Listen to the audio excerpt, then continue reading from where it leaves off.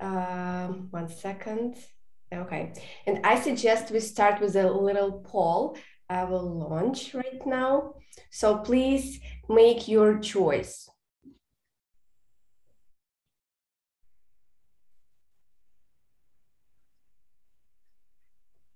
Mm -hmm.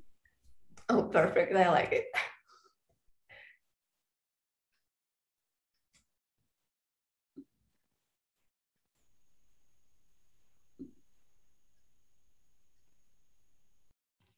Mm -hmm.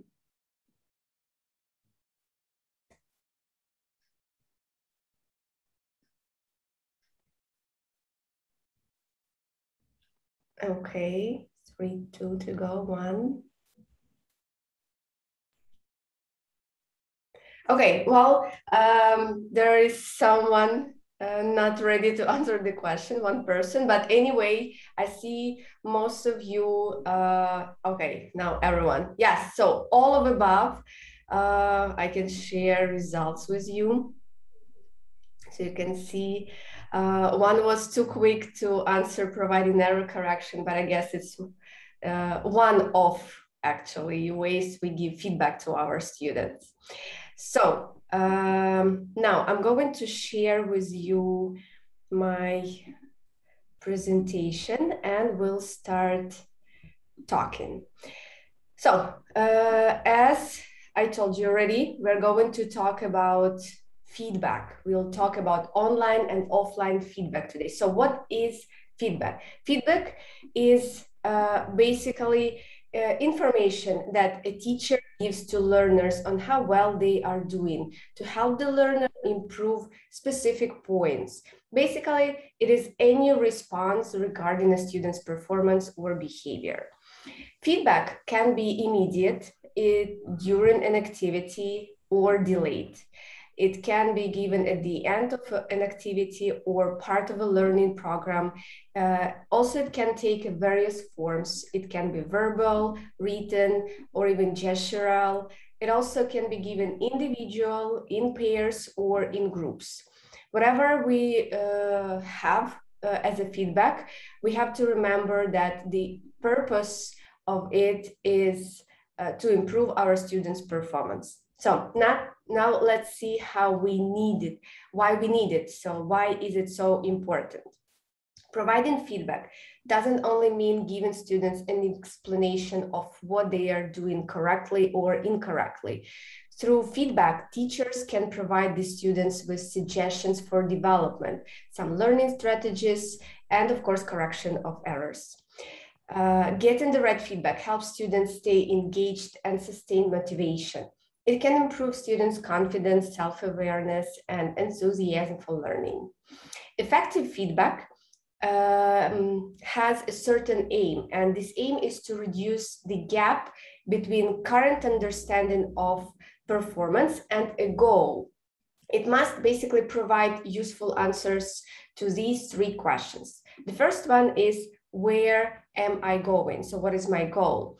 Goals promote self-directed action, a general ability we want students to develop. Feedback gives them information by which they can set reasonable goals and track their achievements of them. So they can adjust effort, direction, and strategy as needed. The second question is, how am I doing? So this involves feedback on progress, uh, how the student is doing in comparison with the expected standard, either overall or part of the performance. And the third question is where to next.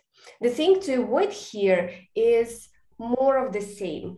It is better if next steps involve enhanced challenges, more development of students' ability to provide self, uh, self feedback, um, some additional or better strategies or processes in working on tasks, some deeper understanding, and probably more information about what is understood and not understood. So here, um, at this point, you can think of it as feed forward rather than feedback. Now, uh, let's see how, uh, how we do that. I'm going to show you uh, seven utterances from a classroom. So, what can you hear? What can you say actually in your classroom? You can say, okay, that was great. Well done, everyone. Right. So, what he did decide to? Uh, how many interviews did John have? Well, that was good, but I heard these. Then you can write some sentences on the board. Uh, can you work in pairs and decide which ones are correct and which ones aren't? Let's do it uh, one more time. This time I want you to use some of these sentences on the board. Um, all right, Kate, what have you got for number one? I like going swimming, Dasha, not I like go to swim. So Alex, what about number five? Do you agree that people should live together before they get married? So all of these can happen, might have happened uh, in your classroom. Now, for each of these, uh, we have some reasons to say. For the first one, for example, it's uh, giving praise. So saying, well done, everyone, everything's great. You give praise to your students. For the second, uh, it's eliciting outcomes of the task. So basically, it's your just reading or listening. Then uh, correcting errors. Here we have delayed feedback when you write sentences on the board and then students discuss them. Further practice when you move from one task to another, or you repeat something if we speak about uh, drilling. Um, checking answers, correcting errors if we speak about instant feedback, and eliciting ideas or opinions from the task. Here's uh, the one about personal response. So uh, thus, we came up to three basic types of feedback. The first one is a performance feedback. Uh, this one is about giving praise or uh, about future practice. The next one is a content feedback. Uh, here we elicit outcomes of the tasks and we also elicit ideas or opinions of our students from the task. And the third one, which is uh, uh, one of the most important as for me is language feedback. Here we check the answers and uh, correct errors, both instant and delayed. Now, let's see how using um, which techniques we can implement each of these types in our lessons. Let's start with uh, a performance feedback. And here I would like you to participate a little bit and I would like you to text your ideas in the chat. So the first things that come to your mind, the things you do, uh, how you give or what you can do given a performance feedback.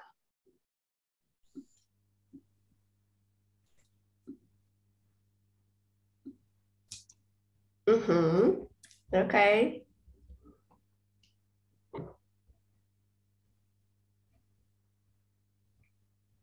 Mm-hmm.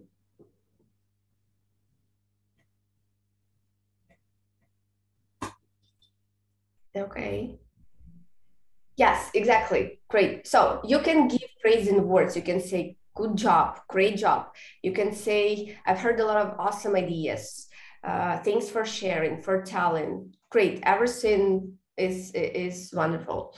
Uh, you can move to the next practice, to the next task. These are our bridges so you're saying something like, well done, everyone. So basically it's the combination of the first and the second. And then we are moving to the next. Uh, you can give stickers, you can give candies. So yeah, it can be something physical if you do it in class. Uh, also, sometimes um, uh, I do applause. We sometimes if we are speaking about uh, some projects or presenting works uh, or um, i don't know some sort of little public speaking in our class sometimes my students they clap to each other applauding because the works are really really good. Okay uh, content feedback. Uh, again your ideas first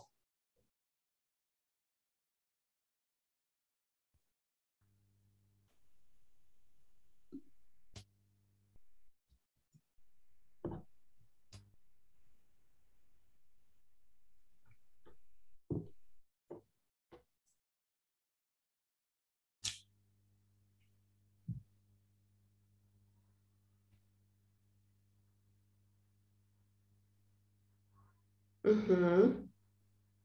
Okay.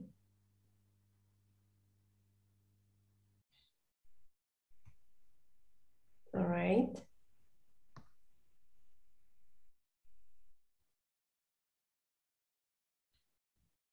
Mm-hmm.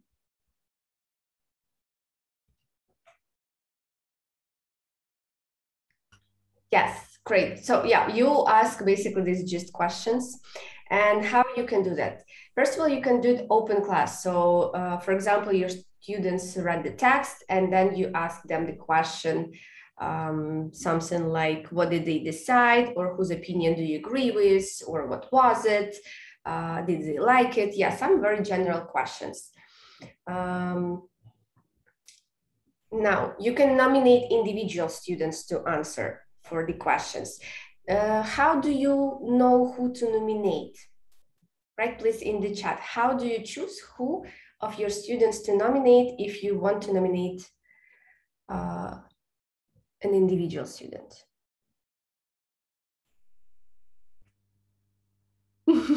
That's perfect. Mm -hmm. Okay.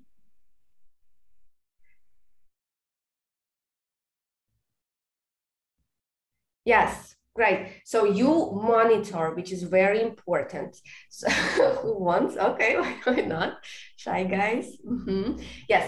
So monitoring gives you the information about your students, and uh, then you see if you are not having a lot of time for everyone to talk. So you choose the uh, stronger students if the question is difficult you can choose some weaker students if the questions are easier and thus you can choose some people who are shy to talk usually. Yes it's good also to choose different people at the time.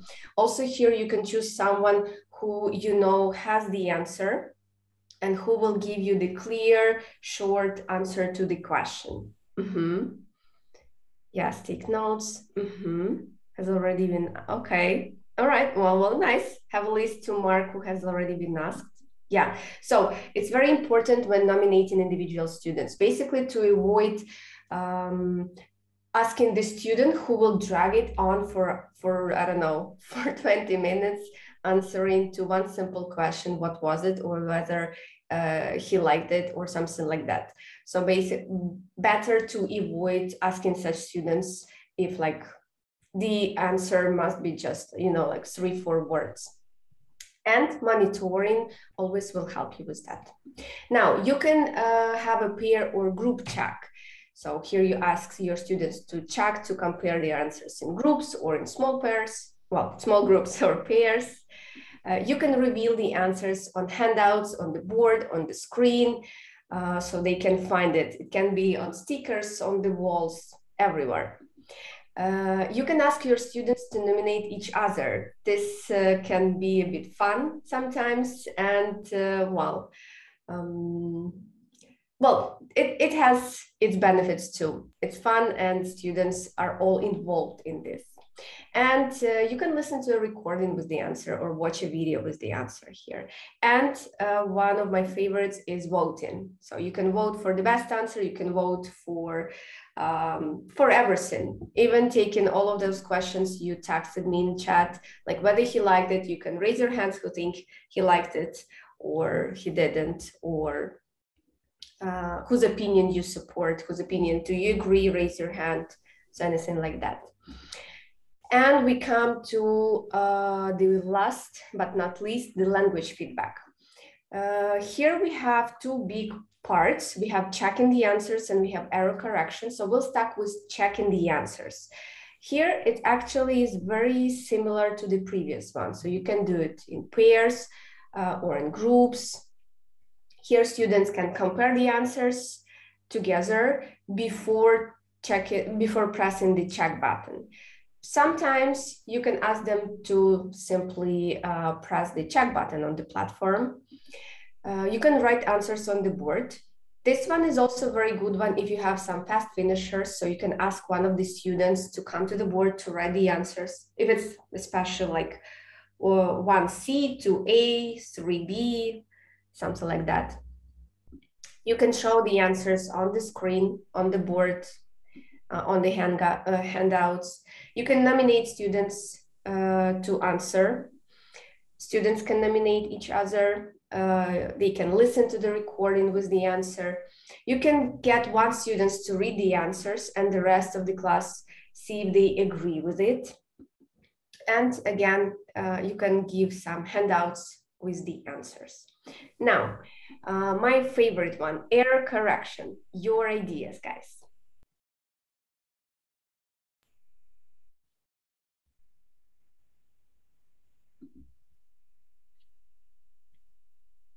Deleting, mm -hmm.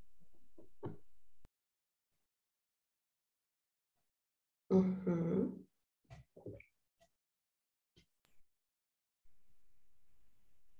Okay. Mm-hmm. Mm-hmm. Okay, good. Yes. mm-hmm. Screenshots. Okay, yeah, all ideas are great. Yes. Uh, I'll adapt some of mine ideas. So you can refer to a correct model. Uh, for example, uh, the very, I have two uh, actual examples here, the very favorite uh, mistakes of all teachers uh, depend from and hotel. So here basically what you can do, you can just give the uh, the right model. You can refer to the correct model, saying like it depends on or hotel. So just give the right, the correct model. You can state a problem area.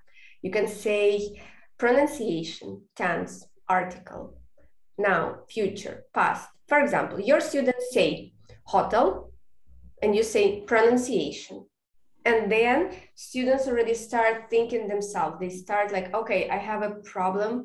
Yes i'm not agree yes for sure. Uh, and your students start okay so the problem is with pronunciation. There must be another stress hotel. Or they say i go to the cinema yesterday and you say tense or you say past. And then they check themselves already and correct themselves now, you can use your fingers to isolate or manipulate the error. For example, you can uh, show the missing articles. For example, it was beautiful day. And you say, it was beautiful day. So what about this letter? What about this part of the sentence? And then they say article, a. It was a beautiful day. Um, you can show mouse shape for sound problems. For example, this sound w or the, so you can use your mouse to um, speculate with such things. Gestures. Um, I guess all teachers have a lot. I, for example, I have this, I gesture a lot. It's probably some of my non-existent Italian roots. Um, so I show like the past, or you can show like the word order. Here actually use um, your fingers intonation going up or down. I sometimes show like the form of the verb, like three, like you need to use third form or second form of the verb. Um, I guess you all have your own uh, gestures that your students already catch in a moment and correct themselves. Then you can indicate that there is a problem. So this is again about some gestures, uh, it can be facial expression, um, some question or like intonation. You can repeat the question. So you can just somehow indicate there is a problem. And your students probably know already uh, what's that and that they need to correct themselves. Concept questions. For example, your students say, how much people is there? And you can say, can you count people? And again, they already can correct themselves. You can repeat up to an error. Let's say your students say, last night I meet with my friend. You say, last night you and your student finish the sentence, but this time correct.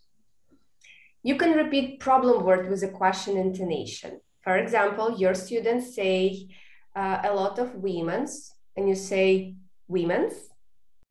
And then they again repeat the sentence and saying it correct.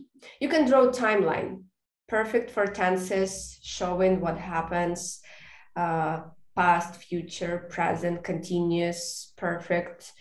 Uh, you can even show some um, other structures. For example, yesterday I showed on the timeline, I showed my students the difference between used to, get used to, be used to.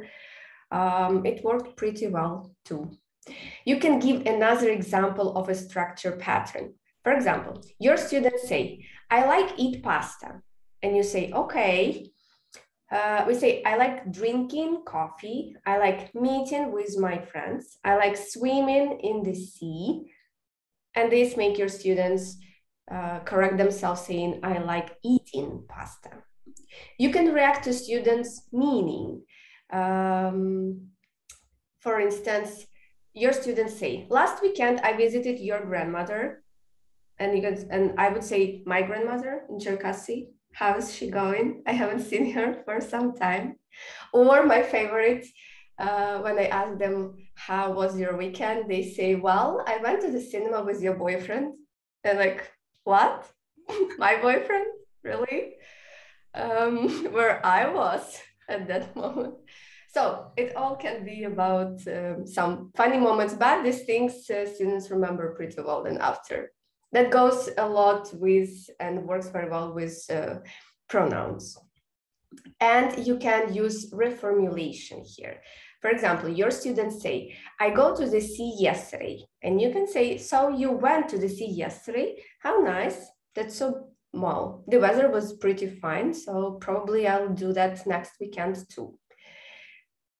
Um, now, these are all are basically instant correction techniques. Um, so here you have to be attentive and focus mostly on the language that you are practicing and not to get involved with other language because, uh, well, it can go far and deep and it will um, affect the fluency task that you are having. Speaking about uh, delayed error correction, uh, we can add here noting down the errors and then putting them on board.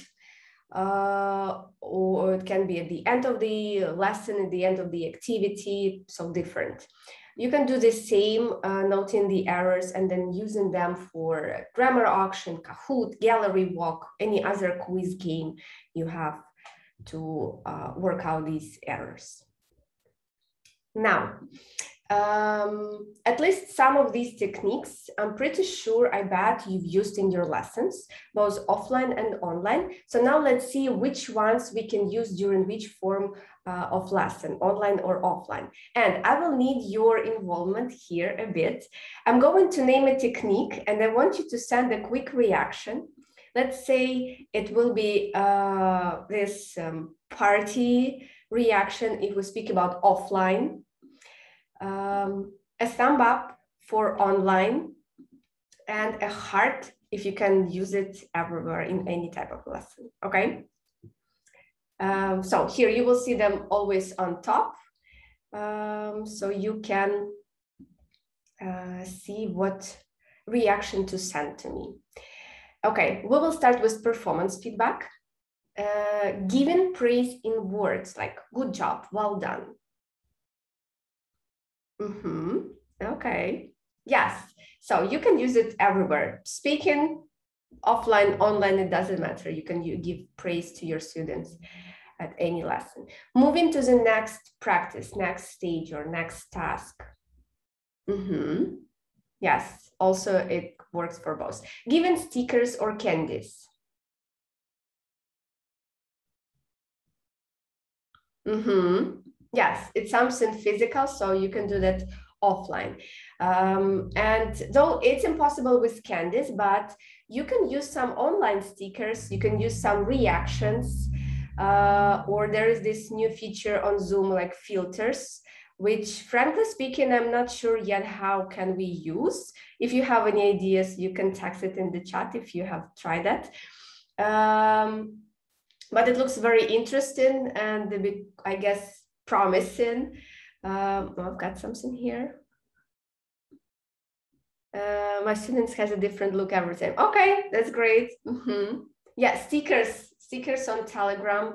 Yeah, so we have the sticker pack on Telegram made by Green Forest, so you can uh, send it. It's uh, fun and quite cool.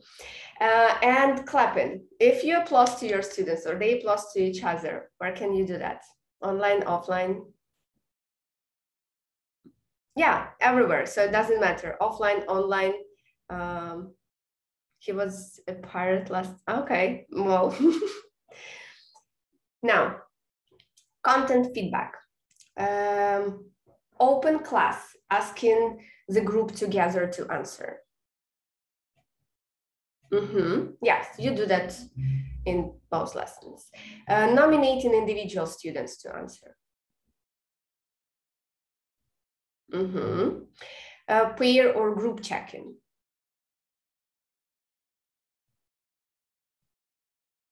Okay, yeah, so uh, it's uh, maybe not that um, convenient to do online, but still it's possible if you have time, so it's good. Re okay, hmm. I'll start. Uh, revealing answers on handouts on board, on screen. You did it offline. If you have something to give to your students, some board with markers, so it will be um, offline. Uh, though we can reveal the answers on screen too. And here you can do it not just showing share by sharing your screen or board. You can do it even with paper so you can just write something on paper and show it. I guess it will add up to some fun. Here i have another um, screenshot picture from uh, the internet where students showing thank you notes to their teacher that's like my wish to you for your students to reveal their attitude to your lessons this way uh, now, if we have students nominating other students, when can we do that? Where? Mm -hmm. Yes. Mm -hmm.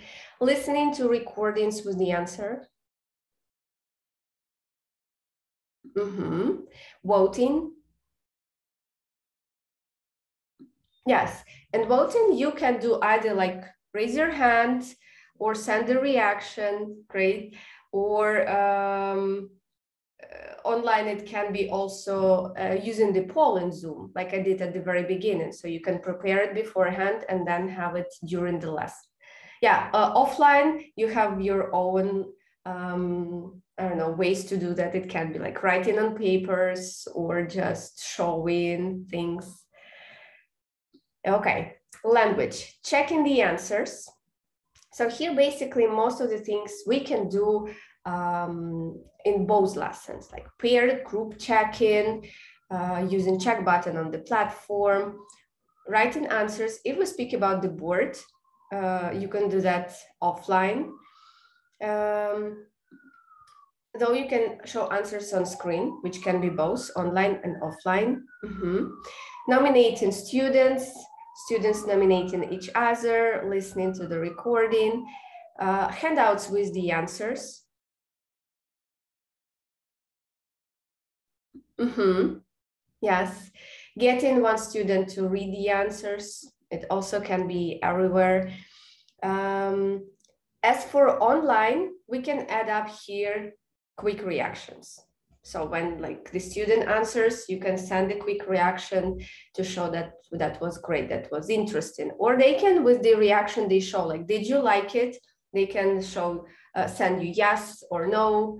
Uh, was it interesting? They can show, um, I don't know, the same yes or no. So like for quick, quick things, you can use that. Okay, well, I found like here, like singing tam.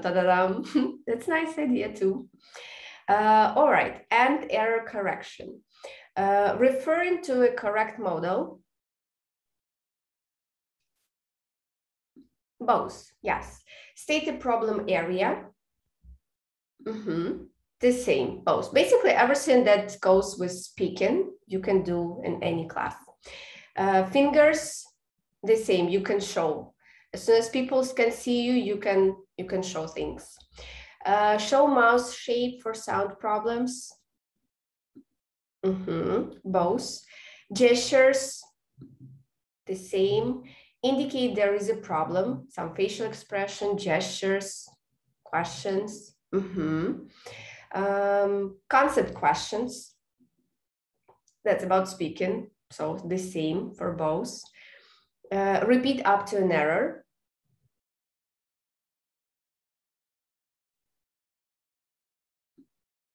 Both. Mm -hmm. Draw a timeline. Yes, yes, you can draw a timeline on the board in your classroom. If it's offline lesson, you can use the board on Zoom and draw timelines there. And which is actually sometimes even very uh, good way to draw a timeline because then you make screenshot and send it to Telegram so everyone has it, like instead of making photos of the screen of computer. Um, next one is given another example of a structure pattern. Both. Mm -hmm. uh, look at me. Okay, look at me to indicate yeah. Mm -hmm. um, react to students' meaning. That's about speaking. So both, like when you say, I visited your grammar, my grammar. Um, reformulation, like so you went to the sea. So for both lessons. Um, noting down errors while students are doing fluency activity. Yeah, you can note down uh, errors, use them uh, after on board or using grammar uh, uh auction, Kahoot. Uh.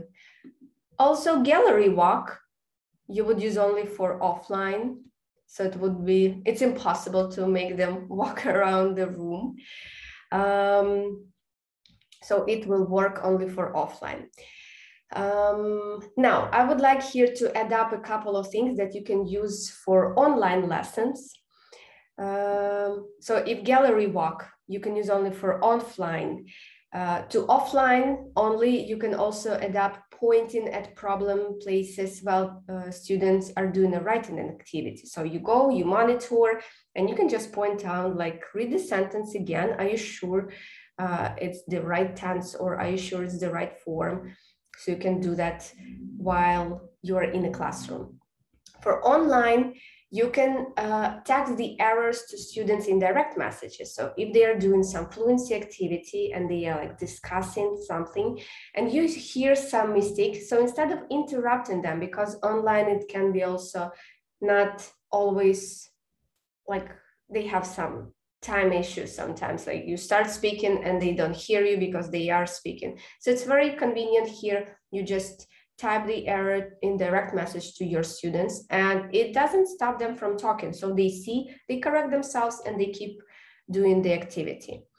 Uh, again you can send reactions here. Uh, and uh, I like also using annotate bar uh, that's usually when you're sharing the screen so you can draw over whatever you're showing um, so it's uh, useful and sometimes it also can be pretty fun. So uh, what I wanted to say, feedback is one of the best ways to help your students learn.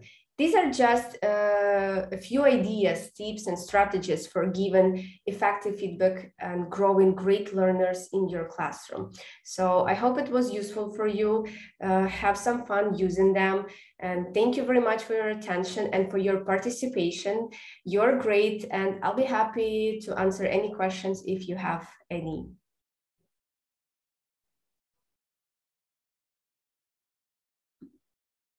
Okay, I'll come here. Okay, thank you very much.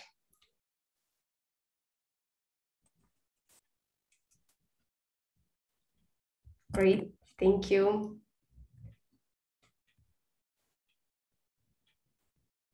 Thank you, thank you. Oh, thank you very much. Great.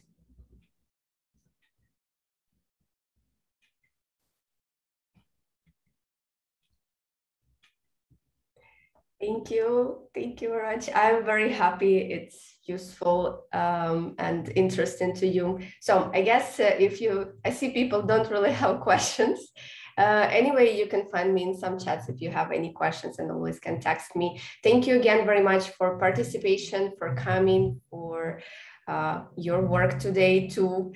Um, have a great day, great weekend, great students. Enjoy it very much. Thank you very much. Bye bye, everyone.